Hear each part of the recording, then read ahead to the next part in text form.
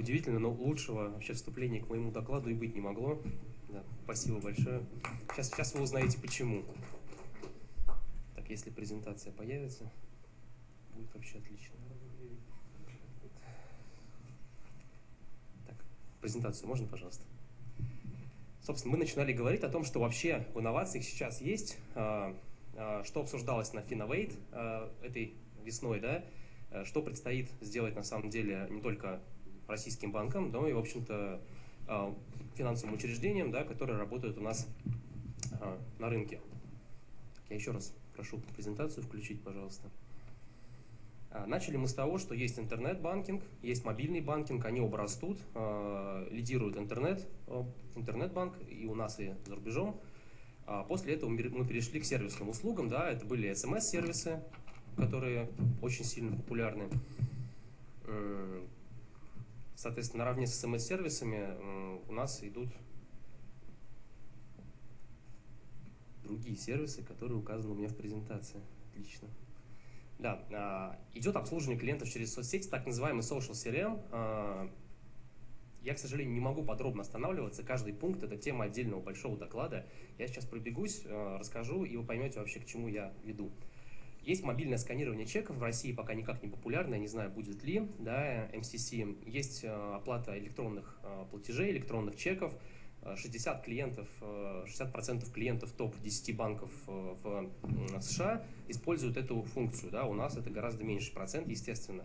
Есть э, person-to-person платежи, про которые уже много кто говорил. Развивающаяся вещь, например, вот сервис Двола тот же, много этих сервисов есть, которые позволяют людям обмениваться деньгами, минуя, в общем-то, банки, хотя и здесь есть определенные возможности для развития, можно это будет потом обсудить. Есть так называемый мобильный марк Э, мобильный банковский маркетинг. Вообще недооцененная довольно-таки сильная вещь. Суть ее заключается в том, что есть мобильные приложения, которые банки делают сами, вот как тут был интересный доклад, да, пишут сами, либо заказывают где-то, но нужно понимать, что в это мобильное банковское приложение на Западе уже давно, в принципе, осознано, что нужно в него встраивать какие-то услуги, которые помогут, помогут, да, а, списывать поактивнее деньги с банковского счета того, кто этот банк использует. Например, Сейчас активно используются так называемые LBS-сервисы, то есть Location Based Service. То есть в банковской, в мобильный банк прямо банк встраивает стороннее какое-то решение. Ну, скажем, купоны, оферы, не суть. С кем-то можно договориться да, об этом. И, соответственно, когда человек проходит где-то по городу, э, ему показываются какие-то скидки, предложения, и он прямо, используя свой мобильный банк, может что-то перечислить, э, купить и так далее. Это активно используется, это будущее, вот это вот на Финовейте обсуждалось очень много. Управление личными финансами, тоже об этом уже я видел, а, обсуждалось. Сбербанк про это рассказывал. То есть вот это вот PFM или OPFM, да, Online Personal Financial Management, Тут идея заключается в том, что есть много сторонних сервисов. Да, и в России есть сервисы определенные, и за рубежом есть популярные сервисы. Однако исследование показало, я покажу эти данные, о том, что вот по топ-10 крупнейшим банкам США, что пользователи доверяют своему банку. И если бы банк сделал PFM, они бы использовали его с удовольствием. Они использовали бы какое-то стороннее решение.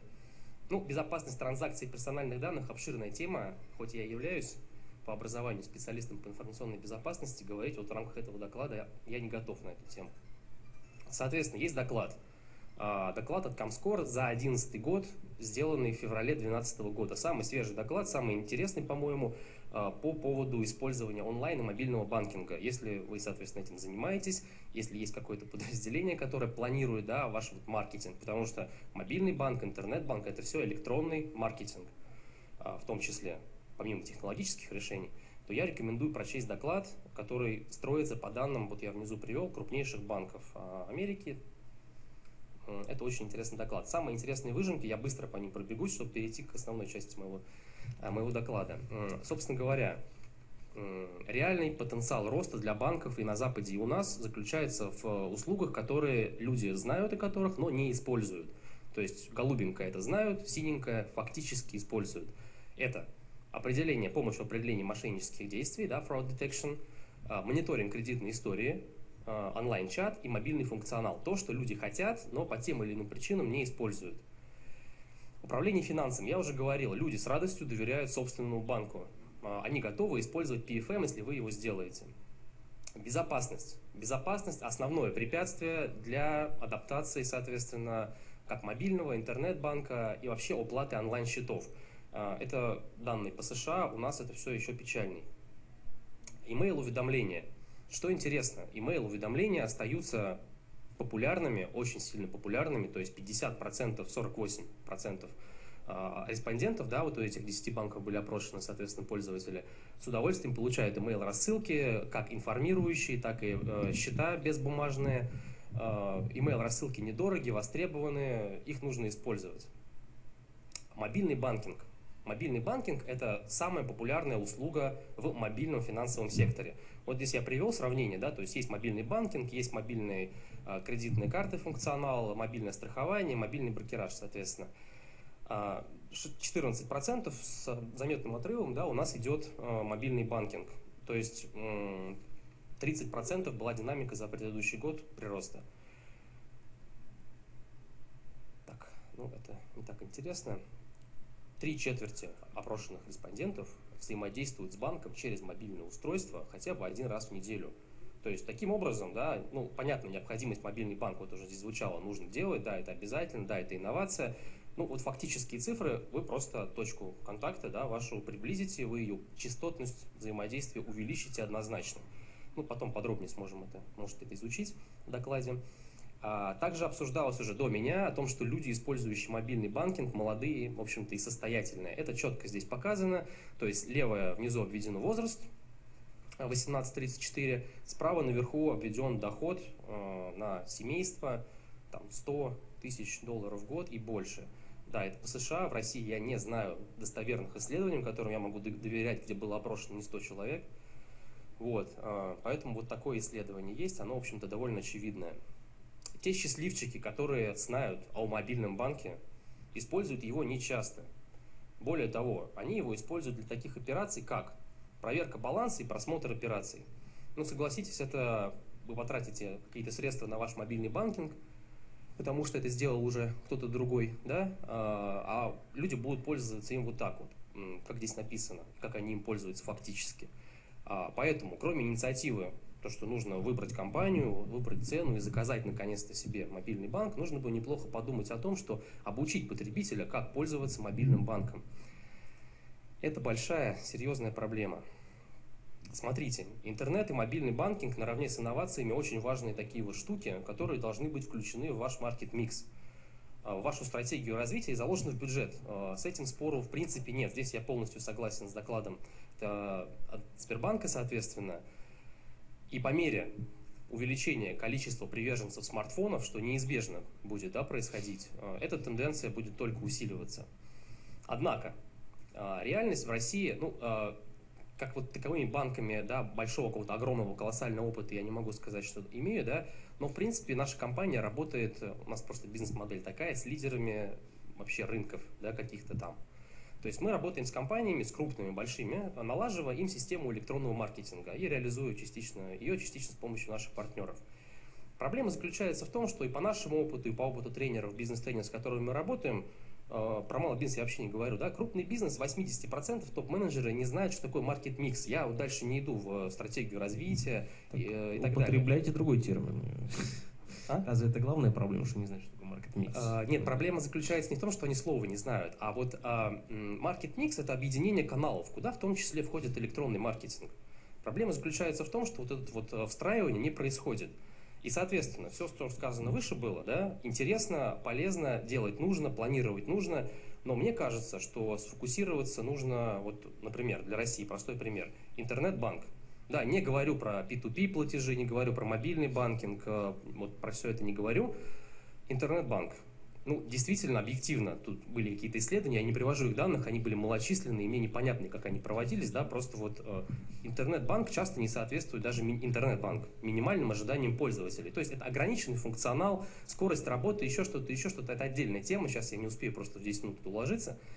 Посему давайте поговорим чуть-чуть, буквально несколько слайдов, о таких вещах, как стратегия, эффективность и измерение. А, все, что потому что э, обсуждалось до этого, о чем говорил я, э, это все инструменты электронного маркетинга. А, посему, смотрите, э, что мне кажется важно. Говорить об инновациях можно, нужно, однако а, без наличия а, действительно маркет-микса и включения в него электронную, стратегии электронного маркетинга, без а, четкой бизнес-модели, ну, бизнес-модель я верю, да, что, что она, естественно, есть, однако стратегия электронного маркетинга должна базироваться на этой модели, это обязательно. Это общие слова, но в действительности происходит каким образом? Да? Берется в формате, ну вот я здесь взял международный формат такой вот графического бизнес-моделирования, да, разбирается бизнес-модель, откуда по кусочкам вытягивается в стратегию все, что необходимо сделать, после этого это проверяется на исследованиях, на аналитике и корректируется. А посему стратегия электронного маркетинга должна базироваться, соответственно, на вашем бизнес-модели и маркет-миксе, соответственно. Есть такая вот пирамидка, да, которая говорит о том, когда и как нужно использовать инструменты. Инструменты должны знать свое место. Я вот здесь слышал очень важное э, замечание о том, что э, нужно отталкиваться действительно не от технологий, э, вот да, передо мной Рубен выступал, соответственно, а не от технологий, нужно отталкиваться от целей. Это большая, огромная проблема, э, то есть э, увидели какую-то блестящую штучку, нужно ее срочно, быстро сделать.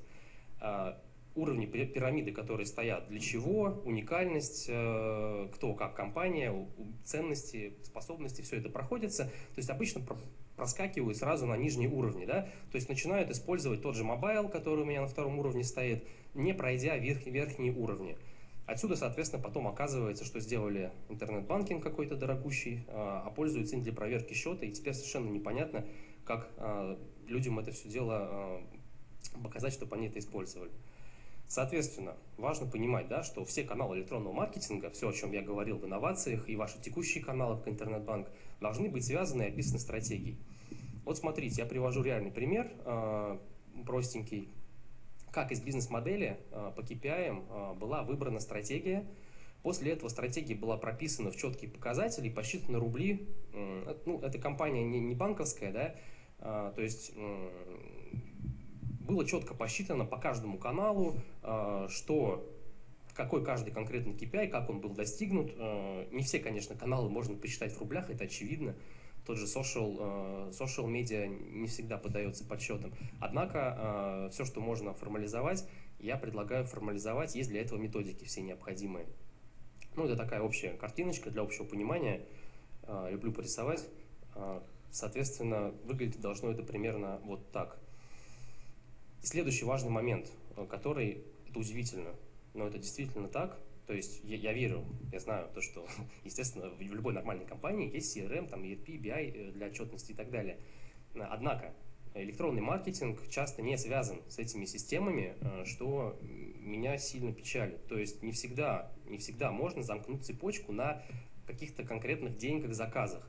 Ну, не всегда это в принципе возможно, но тем не менее – то есть не всегда деньги поступают, не всегда данные от электронного присутствия вашего, электронного маркетинга, будь то рекламного, любого другого, а, поступают в ваши CRM RP-системы. Об этом нужно задуматься. Ну, почти что последний слайд, по-моему, касающийся веб-аналитики. А, вообще веб-аналитика – это аналитика в вебе. Это э, неважно, какая она, самописная, от стороннего какого-то провайдера, все что угодно. То есть ваш тот же мобильный банкинг, будь это приложение, будь это интернет-банкинг, э, ужимающийся под мобильное устройство, все что угодно. Все, что делаете в интернете, в электронных каналах, э, в принципе, это веб-аналитика. Э, Пользоваться ей нужно очень аккуратно, вообще ей нужно пользоваться, э, тоже такие, такая, в общем-то, редкость, в общем-то, еще в России, недавно, в общем, с седьмого года как-то она пришла к нам и очень недавно развивается. То есть очень любят отчеты из нее делать и по сайтам банков. Вот тут я взял выдержку из исследования по банковскому сектору, Исследование мне непонятное, э, не знаю, кто в нем участвовал, кто согласился дать свои пароли, как уверяют составители этого исследования, якобы они э, посмотрели все системы аналитики крупнейших банков. А, не знаю, не верю, это коммерческая тайна, такая информация, но тем не менее какие-то данные они здесь приводят, да, отказы, просмотры, глубины, конверсии во вклад, конверсии кредит, э, делают из этого какие-то выводы такие отчеты очень сильно распространены. И очень часто, когда я прихожу в действительно крупные компании какие-то, мне показывают эти отчеты и говорят, ну смотрите, вот нам сделали отчет, значит у нас все будет хорошо. Хорошо ничего не будет, потому что это отчет ни о чем. То есть э, какие-то общие показатели об отказах по сайту, общие показатели о проведенном времени на сайте.